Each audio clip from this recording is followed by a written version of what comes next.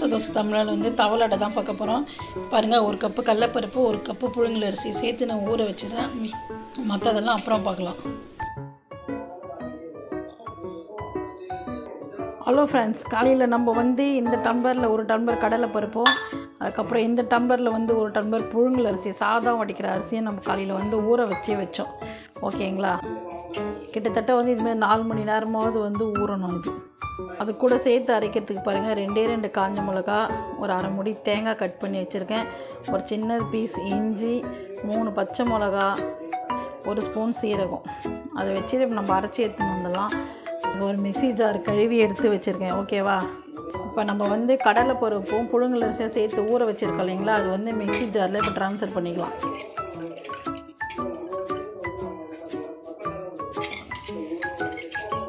புழுங்கலரிசி தாங்க போடணும். பச்சரிசி போடக்கூடாது.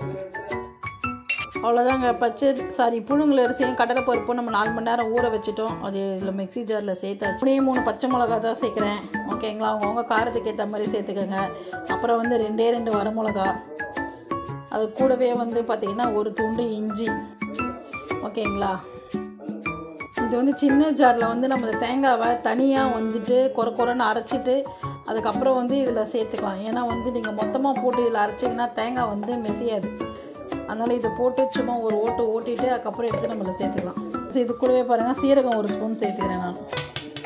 தச்சு இங்கே பாருங்கள் உப்பு கொஞ்சம் சேர்த்துக்கலாம். சேர்த்து நல்லா இது குறை குறைப்பாக அரைச்சி எடுத்துன்னு வந்துடலாம். அவ்வளோதான் ஃப்ரெண்ட்ஸ் இங்கே பாருங்கள் இது வந்து அரை பாகம் வந்து அரைச்சி எடுத்துன்னு வந்திருக்கோம். ஓகே தெரியுதுங்களா உங்களுக்கு? இது தேங்காவும் வந்து இந்த அளவுக்கு அரைச்சிருக்கேன். இந்த தேங்காய் எடுத்துகிட்டு இப்போ நம்ம அதில் சேர்த்துக்கலாம். அவ்வளோதான் ஃப்ரெண்ட்ஸ் இங்கே பாருங்கள் இது கூடவே வந்து தேங்காவும் நம்ம வந்து சின்ன ஜாரில் போட்டு ஒரு ஓட்டு ஓட்டி இதை சேர்த்துட்டோம். இதை சேர்த்து நல்லா ஃபைனாக வந்து நம்ம அரைச்சி எடுத்து வந்துடலாம். ரொம்ப மெஸ்ஸியாக இருக்கக்கூடாது. சும்மா ரவை பதத்துக்கு இருக்கணும் நைஸாக அந்த அளவுக்கு நம்ம தண்ணி ஊற்றி அரைச்சி எடுத்து வந்துடலாம் இப்போது அவ்வளோதாங்க நம்ம வந்து அடைக்கு வந்து அரைச்சி எடுத்துன்னு வந்துட்டோம். இங்கே பாருங்கள் தெரியுதுங்களா? இந்த அளவுக்கு நல்லா நைஸாக இருக்கணும். அதாவது வந்து இந்த ரக ரவை பக்குவத்தில் வந்து நம்ம அரைச்சி ஏற்றுக்கணும் ஓகேங்களா? இப்போ இது வந்து நம்ம இந்த பாத்திரத்தில் வந்து ட்ரான்ஸ்ஃபர் பண்ணிக்கலாம். அவ்வளோதாங்க நம்மளுடைய அடை மாவு வந்து சூப்பராக ரெடி ஆகிடுச்சு ஓகேங்களா? இது வந்து முன்னாடியே அரைச்சி வைக்கணுன்றதெல்லாம் கிடையாது. நம்ம தோசை வாக்குறப்ப தான் வந்துட்டு தோசை சுடுறப்ப அரைச்சாவே வந்து போதும். ஓகேங்களா? இது அப்படியே ரெடியாக இருக்கட்டும். நம்ம வந்து சட்னி அரைச்சிக்கலாம். சட்னி அரைக்கிறதுக்கு பாருங்கள் கொஞ்சம் தேங்காய் உடச்சக்கல்ல நாலு முந்திரி நாலு பச்சை மிளகா ஒரு துண்டு இஞ்சி. இதை வச்சு அரைச்சி எடுத்து வந்துடலாம். கருவேப்பிலை வந்து தாளிக்கிறதுக்காக.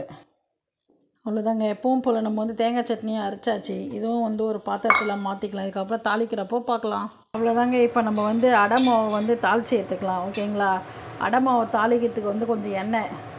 அதாவது வந்து கொஞ்சம் தாராளமாக சேர்த்துக்கோங்க. ஒரு மூணு ஸ்பூன் இல்லை நாலு ஸ்பூன் அளவுக்கு சேர்த்துக்கோங்க. ஃப்ரெண்ட்ஸ் இங்கே பாருங்கள் எண்ணெய் வந்து நல்லா சூடாகிருக்கு அதாவது ஒரு நாலு ஸ்பூன் அளவுக்கு எண்ணெய் கொஞ்சம் கடுகு. பாருங்கள் ஒரு ஸ்பூன் அளவுக்கு உளுத்தம்பருப்பு ஃப்ரெண்ட்ஸ் உளுந்து வந்து நல்லா கோல்டன் ப்ரௌனாக வந்து செவரணும். செவர்ற வரைக்கும் நல்லா நம்ம கொஞ்சம் ரோஸ்ட் பண்ணிக்கலாம். இது கொஞ்சம் எண்ணெய் நிறைய இருந்தால் தாங்க நல்லாயிருக்கும்.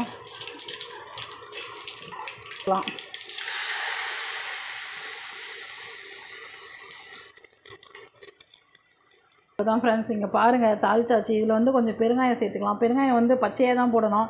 எண்ணெயிலலாம் போடக்கூடாது பெருங்காயம். அவ்வளோதான் ஃப்ரெண்ட்ஸ் இது வந்து இப்போ மிக்ஸ் பண்ணிக்கலாம். உப்பு வந்து அவங்கவுங்க டேஸ்ட்டுக்கு ஏற்ற மாதிரி வச்சுக்கோங்க. அதில் வந்து பெருங்காயம் சேர்த்துருக்கேன். பச்சையாக தான் சேர்க்கணும். ஓகேங்களா எண்ணெயில் வந்து போடக்கூடாது பெருங்காயம். அவ்வளோதான் ஃப்ரெண்ட்ஸ் தண்ணியும் வந்து நிறைய சேர்க்கக்கூடாது. இந்த அளவுக்கு தான் கெட்டியமாக இருக்கணும். ஓகேங்களா தெரியுதுங்களா? உப்பு மட்டும் பார்த்துக்குங்க. நம்ம வந்து காஞ்ச மிளகா பச்சை மிளகா அப்புறம் இஞ்செல்லாம் வச்சுருக்கோம் சீரகலாம் காரம் வந்து போதுமான அளவு இருக்குது அவங்கவுங்க டேஸ்ட்டுக்கு ஏற்ற மாதிரி உப்பு மட்டும் பார்த்துக்குங்க. இது அப்படியே இருக்கட்டும். நம்ம அங்கிட்ட சட்னி தாளித்து வச்சுட்டு வந்துடலாம்.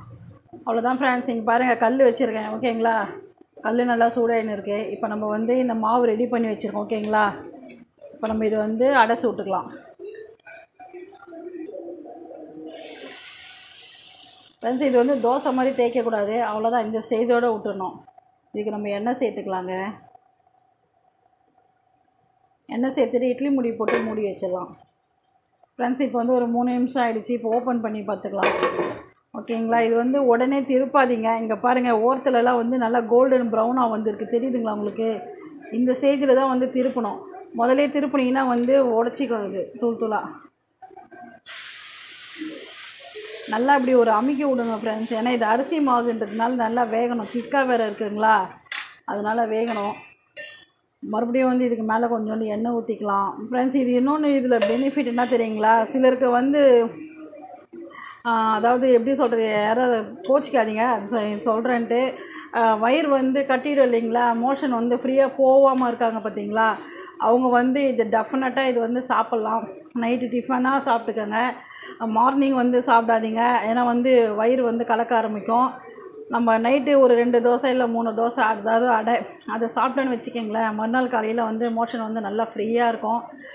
இது நாங்கள் என்ன சொல்கிறது இது வந்து நாங்கள் எங்களுக்கு ஒரிஜினலாக தெரிஞ்சதுனால நான் வந்து நம்மளுக்கு வியூஸ்க்காக நான் சொல்கிறேன் ஓகேங்களா இதை வந்து நீங்கள் ட்ரை பண்ணி பாருங்கள் அதே மாதிரி இந்த அடை சாப்பிட்டுட்டு ட்ராவலிங் எதுவும் போகாதீங்க. ஓகேங்களா இதை நைட்டில் சாப்பிட்டுட்டு நீங்கள் காலையில் வந்து மோஷன் எப்படி இருக்குன்னு ஃப்ரீயாக நீங்களே பார்க்கலாம்.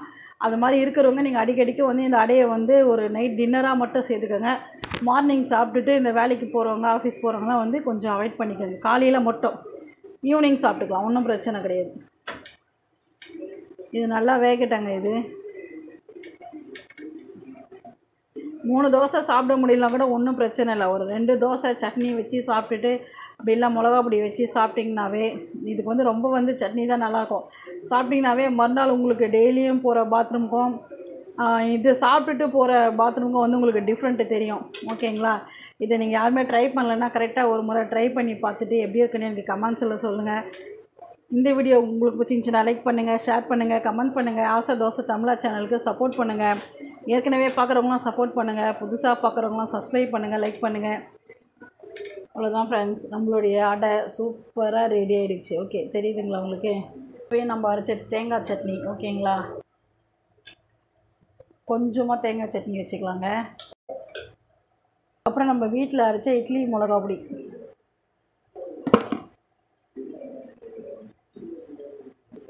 ஃப்ரெண்ட்ஸில் வந்து கொஞ்சமாக நல்லெண்ணெய் சேர்த்துக்கலாம். நைட்டில் உங்களுக்கு என்ன வேணான்றவங்க மிளகா அப்படியே ஸ்கிப் பண்ணிவிட்டு வெறும் சட்னியே சாப்பிட்டுக்கலாம். அவ்வளோதான் ஃப்ரெண்ட்ஸ் நம்மளுடைய அடை சூப்பராக ரெடி ஆகிடுச்சு இங்கே பாருங்கள் உங்களுக்கு தெரியுதுங்களா? சூப்பராக இருக்குது நல்லா சூடாக இருக்குது இது வந்து எடுத்தோடனே சன்ட்ரா பீச்சி சாப்பிடாதீங்க. ஓரமாக சாப்பிடுங்க. அப்போ தான் வந்து இது நல்லா டேஸ்ட்டாக சூப்பராக இருக்குது நல்லா பொற பொறன்னு நல்லாயிருக்கும் ஃப்ரெண்ட்ஸ்